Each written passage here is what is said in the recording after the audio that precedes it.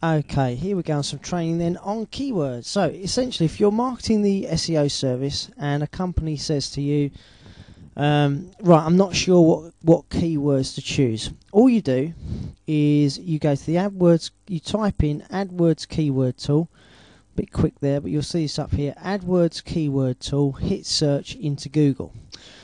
As you come down here on the left hand side, the one that you want really, I think, is this one here the adwords.google.co.uk select keyword tool external okay? And that is going to take us into here.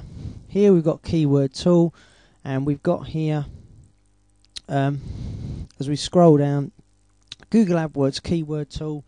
Scroll down here enter one keyword or phrase per line. So for instance if we were looking to find out um, I'm trying to think of a good word now. Uh, maybe we're looking to look at things that people search online. For instance, an IFA, uh, a financial advisor, we type in IFA in, I don't know, let's say um, Southend. Um, IFA Southend. I know this works because we did this one the other day. Um, you then go in, you click in, uh, do the little um, characters here, just so that Google knows you're not a robot. FCQAK.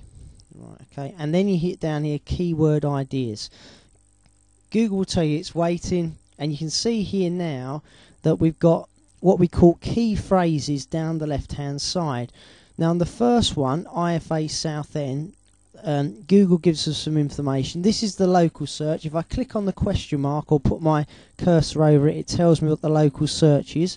If I go here to the, the uh, global search, it tells me what that is as well.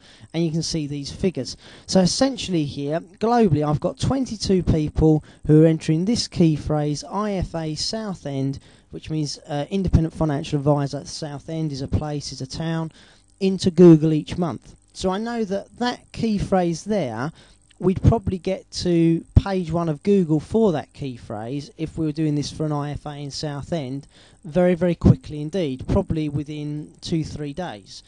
But if I put in, for instance, variances around that keyword, so let's put IFA independent, or let's actually do it like this.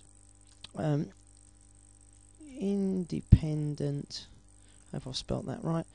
Uh, finance, finance financial advisor um, UK. Now that is big. There's a lot of independent financial advisors in the UK. I'm sure you'd agree with that. So now it's going to take Google a little bit longer. Now, obviously, there was no um, detail under there because I've obviously spelt that wrong probably. But here, look, independent financial advisor UK there's 480 searching in the local market each month and 720 worldwide. So that key phrase is quite low. Here we get into the bigger key phrases where we've got here mortgage advisor. Let's get my teeth out there. Mortgage advisor. There's 49,500 people searching per month under that key phrase. So for something like mortgage advisor, depending on the website competition, and we're going to take that now actually and go back into Google, uh, the term mortgage advisor. I'll show you what I mean by competition. So remember IFA in Southend we did. Now look at Mortgage Advisor. So Mortgage Advisor has got 49, almost 50,000 people searching per month under that key phrase Mortgage Advisor. That is a key phrase. And around about 60,000 searching worldwide under that key phrase. And you'll see as I scroll down, there's loads of different key phrases. And this is where you can start picking your 15 key phrases from for companies that obviously want this service. And then obviously you can think of other key phrases that you can put in here and get variances on key phrases as well. So mortgage advisor you might go for that one because that's a big one and you might go for independent financial advisor UK because that's a smaller one and if you remember the one that we did on the IFA in Southend that was 22, if you put that up here, you've got 22, 480, 49,500. Well, obviously, the one that's got 22, the IFA Southend, you're going to get to page one of Google very quickly. The one that's got 49,000 here, obviously, that's probably going to take a little bit longer than um, four to eight weeks. But it's worth having because eventually that person in that business would um, have an additional almost 50,000 people that they can put their business in front of each and every month, which is fantastic. As we scroll down here, you see here's another good independent financial advisors. That's what we call a broad key phrase because it, it's not if you like, honed down to an area. Independent financial advisor could be anywhere. Now, that's fine if they can do business online or over the telephone. That's brilliant. We could use that one. So, we want a mixture of high and low key phrases. For example, they're independent mortgage advisors for a thousand a month. That's not a bad one, and then 2,400 globally. Now, if we want to sort these and make it easier for us when we're searching, all I do is I go up here to the local search and I click on it, and then these are put in, if you like, numerical order. So if I was if I wanted to maybe get a page on a Google under the key phrase mortgages and access over 2 million people per month, well, I could do that, but it's going to take a little bit longer than eight weeks. This is what you have to advise your clients. Whereas if I came right down the bottom here and I looked at things, here you go, look, if somebody was looking for a buy to let mortgage deal, that's what we call a long tail key phrase because it's, you know, three or more words, there's only 1,900 people searching under that key phrase per month, which we've got a good chance then of getting to page one in Google quite quickly. And essentially, the client, under that one key phrase alone, can access almost an additional 2,000 clients per month, possibly through their um, through their website.